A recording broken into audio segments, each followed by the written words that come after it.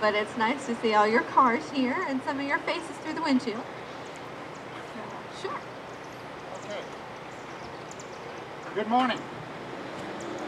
Did I hear you say good morning?